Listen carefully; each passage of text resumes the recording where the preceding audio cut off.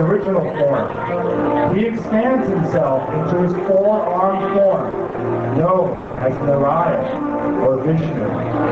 And thus he presides over all the Vaikuntha planets. Once, on one of these blissful Vaikuntha planets, two gatekeepers of Lord Narayan, known as Jai and Vijay, were pondering how they could better serve the Lord. Sometimes the Lord wishes to fight. But who can fight with the Lord except for one of his confidential associates?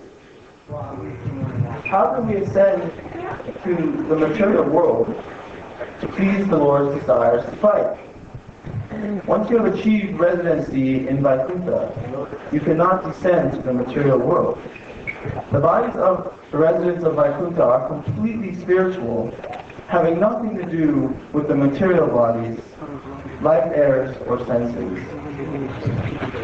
When the Lord travels down to the material world, he goes there through the agency of the eternal potency.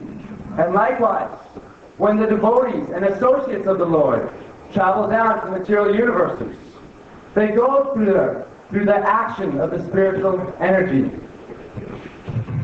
We know the Lord desires to fight, but we cannot simply act like demons. We must truly become demons. Yes. How can we truly become demons? The sons of Brahma, who are known as the Kumaras, came to visit Lord Narayan, the supreme personality of Godhead.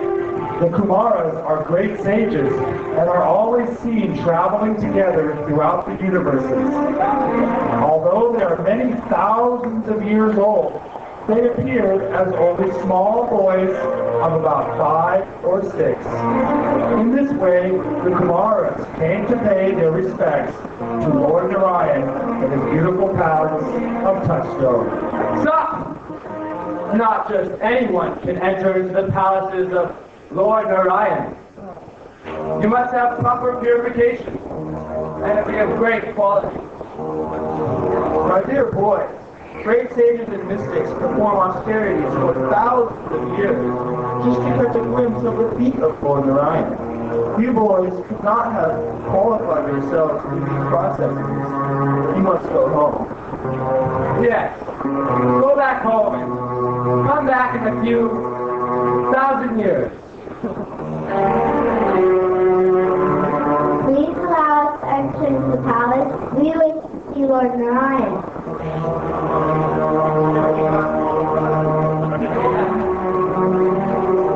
For this injustice, we curse you both to take birth in the material world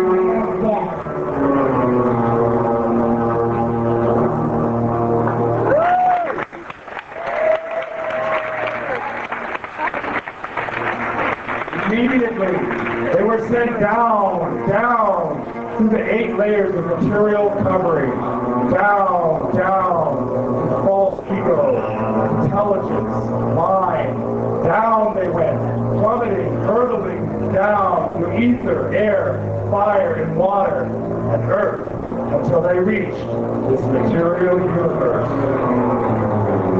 It is night, and the wind is howling.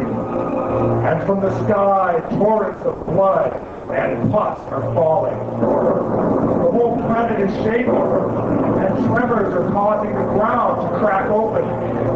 This night, a terrible demon is being born.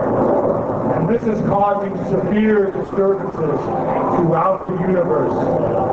His name is Hiranyakashipu. From his very birth, Hiranyakashipu was a great demon who wanted more material wealth and power than anyone else. For 125 celestial years, he performed severe austerities by standing on the tips of his toes. He became more and more powerful until it looked as if he would destroy the entire universe. Finally, the demigods begged Lord Brahma to come down to earth and stop him from creating further destruction.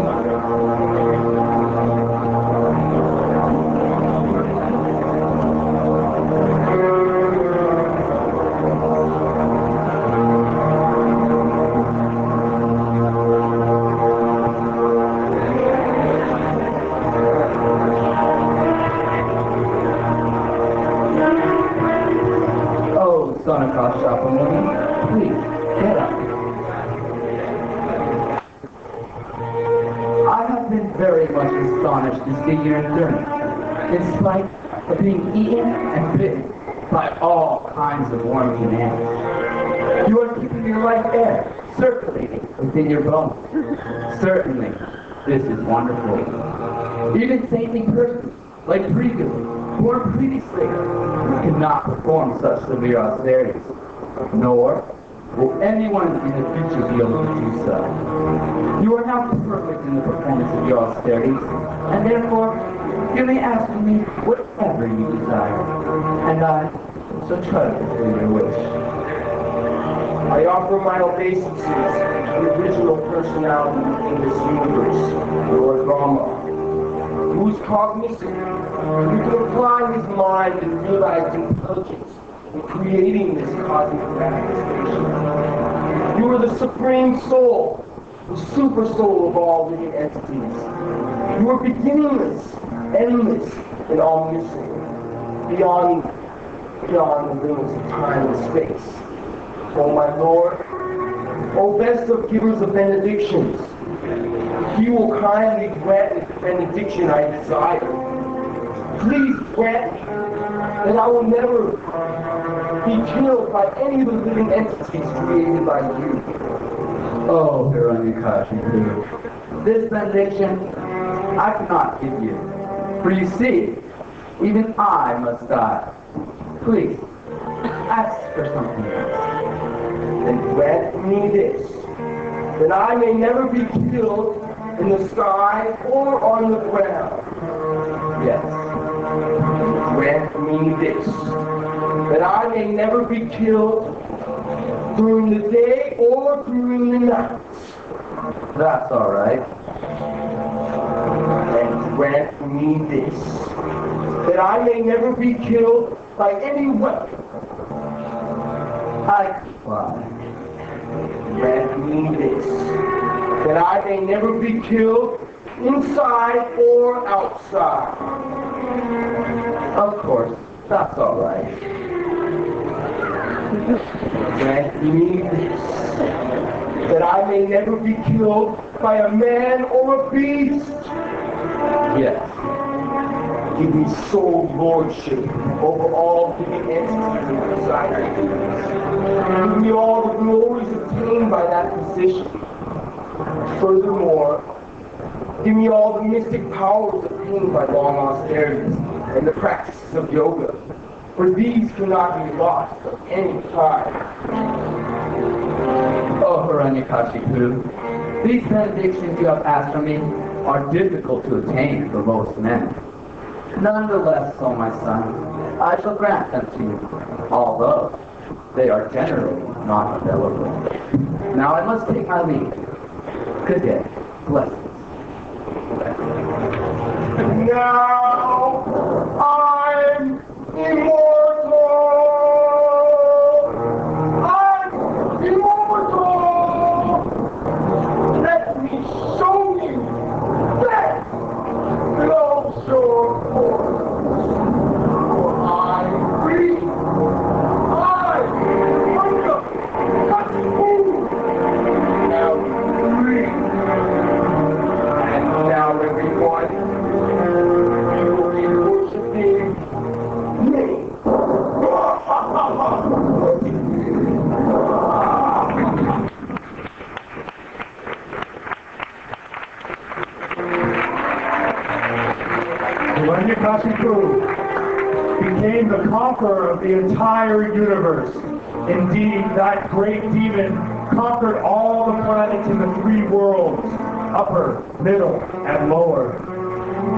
Meanwhile, the demigods became overwhelmed with fear, for Hiranyakashipu's power was spreading rapidly throughout the universe, endangering the residents of the heavenly planets. And so, they kidnapped his pregnant wife, Kayadu.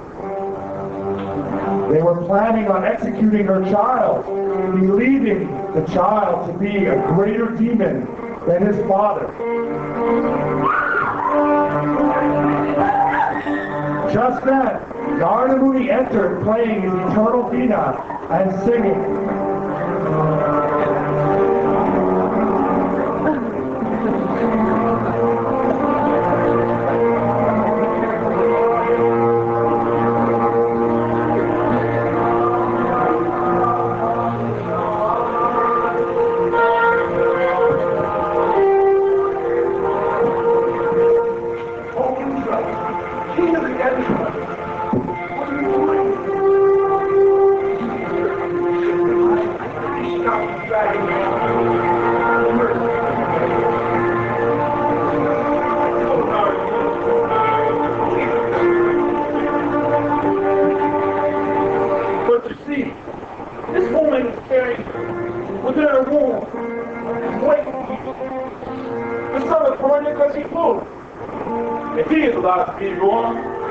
He could destroy the whole universe.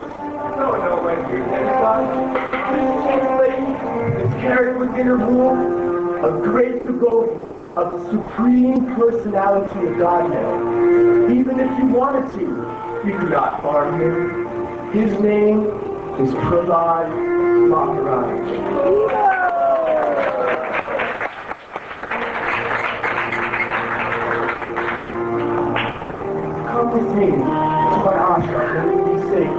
Although